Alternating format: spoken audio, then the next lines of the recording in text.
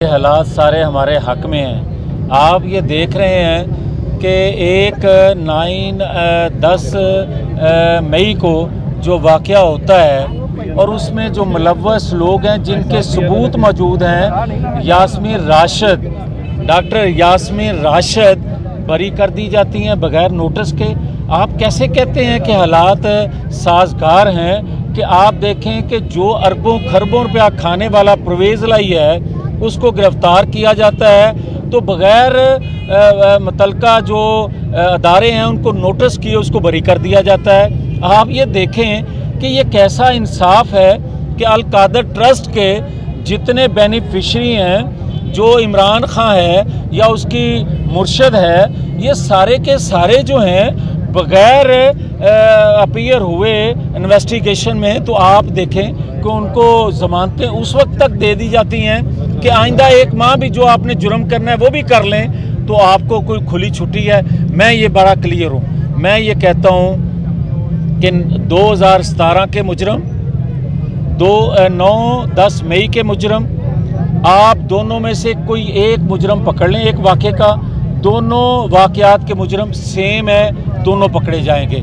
मैं ये कहता हूँ कि 2017 के जो जुर्म किया था, जिन जिन लोगों ने अदारों में बैठे लोगों ने वो सारे के सारे बेनकाब हो चुके हैं। तो बेनकाब होने के बावजूद आप बगैर नोटिस के यासमीन राशद को या परवेज़ लाई को या इमरान खान को आप बरी करते हो तो जिसके सारे सबूत आ चुके हैं, बेगुनाह है, उस पर आज खुद नोटिस लेके पराने जो लोग हैं, सबक लोग हैं उनके माथे पे जो स्याही है या उनकी वजह से जो कालक है अदारों पे ये अगर आपके पास कोई स्पेस होगी आपकी जमात के पास तो कोई पंछी उड़ के आएगा।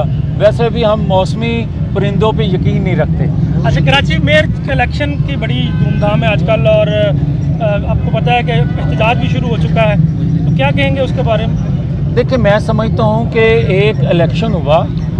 अगर कोई किसी को कोई शिकायत है तो सराजुल हक साहब खुद फरमाया करते हैं कि मुतलका अदारे में नॉक करनी चाहिए मुतलका अदारे में रिक्वेस्ट डालनी चाहिए। तो कल एक इलेक्शन हुआ है आप हार गए हो तो उस हार को कबूल करना चाहिए। आखिरी सवाल मियाँ साहब कि उसकी वजह यह है कि आज आप वो हालात पैदा करना चाहते हो जो उस वक्त पैदा किए गए थे। उस वक्त भी गैर मुल्की कुतों ने वो शेख मजीब हों या किसी और को सहूलतकारी दी थी। और आज पाकिस्तान में कोई अलग तो खुदा न खास्ता होना नहीं चाहता, मगर आप बैरूनी कुतों को सहूलतकारी आप दे रहे हो, बैरूनी कुतें आपको सहूलतकारी दे रही हैं। दोनों का एजेंडा एक है कि रियासत को कमज़ोर किया जाए। तो मैं समझता हूँ कि जो 9-10 मई को सानिया हो चुका है, उसके बाद पाकिस्तानी कौम की आँखें खुल चुकी हैं। लिहाजा कोई इस साजिश का हिस्सा बनने को तैयार नहीं होगा। इंतबात मुस्लिम लीग नून अपने प्लेटफार्म पर अपने निशान पर लड़ेगी।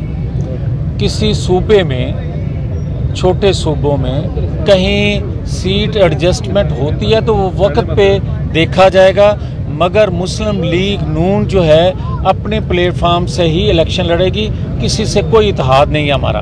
अच्छा। ये हकीकत है। ये कौमी हुकूमत ज़रूर है, मगर ये इतिहाद नहीं है इंतबी इतिहाद नहीं है। आज से आप देख लेना कि जितने दिन रह जाएँगे, हर रोज़ हर जमात अपना अपना जो मंशूर है, उसके मुताबिक बात भी करेगी, उसके मुताबिक अपनी सीटों की एडजस्टमेंट भी कर रही होगी, अपने कैंडिडेट सामने ला रही होगी। तो मैं समझता हूँ कि पाकिस्तान की सबसे बड़ी जमात जो है मुस्लिम लीग, जिसको हमेशा 25 साल से तोड़ने कमज़ोर करने की कोशिशें जारी रहीं। आज कुछ चार छः माह से सुख का सांस आया है कि इसको तोड़ने की कोशिशें नहीं हो रही, मगर हम किसी से गैर जमहूरी कुत से मदद मांगने का तस्वर भी नहीं कर सकते। हमें लेवल प्लेइंग फ़ील्ड दी जाए और जो लोग कहते हैं कि माइनस फला नहीं होना चाहिए। हमें तो माइनस करने के लिए 25-30 साल से कोशिशें होती रहीं। हम तो उसके बावजूद भी इलेक्शन लड़ते रहे। तीन इलेक्शन नवाज़ शरीफ के बगैर मुस्लिम लीग नून ने लड़े हैं। मगर अब हम अफोर्ड भी नहीं करते, पाकिस्तान भी अफोर्ड नहीं करता कि माइनस नवाज़ शरीफ को इलेक्शन हो। वो पाकिस्तान के लिए बेहतर नहीं है। मेरी जमात बर्दाश्त कर ले शायद, मगर पाकिस्तान के में हिम्मत नहीं है कि पाकिस्तान बर्दाश्त कर सके। अब माइनस नवाज़ ये भूल जाएँ कि नवाज़ शरीफ पाकिस्तान नहीं आएँगे। मैं आपको ये कह रहा हूँ कि हम पेट्रोल बम बनाने वाले लोग नहीं हैं। हम गलेल से किसी पे वार करने वाले लोग नहीं हैं। हम दो साल मनसूबाबंदी करने वाले रियासत के ख़िलाफ़ नहीं हैं। हमें तो जहर दिया गया, हमें तो ताहयात नाहल किया गया बेगुना होते हुए भी तो हमने गलेल का डंडे का इस्तेमाल नहीं किया। तो अगर हमें कोई ये तो रखता है कि हम पेट्रोल बम बनाएँगे या पाकिस्तान की तनसीबात पर हमलावर होंगे, हम तो हमलावर होने वालों के हाथ पकड़ेंगे। मगर ये आपको बता दें कि नवाज़ शरीफ एक हद तक बर्दाश्त कर सकता है और कर रहा है, मगर उसकी जमात मज़ीद नाानसाफ़ियाँ बर्दाश्त नहीं कर सकती।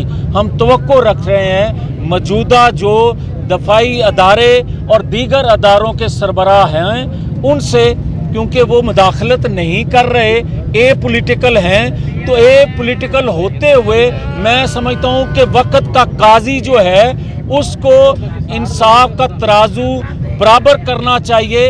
एक पलड़ा उसका किसी जानब झुकाना नहीं चाहिए, ताकि नवाज़ शरीफ हो, कोई और हो, उसको लेवल प्लेइंग फ़ील्ड इलेक्शन में मिले।